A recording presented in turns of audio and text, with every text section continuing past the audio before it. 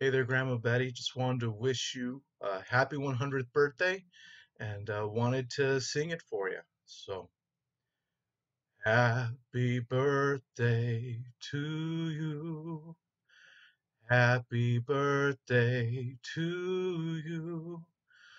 May God's richest blessings now rest upon you. We love you, Grandma Betty. Happy birthday.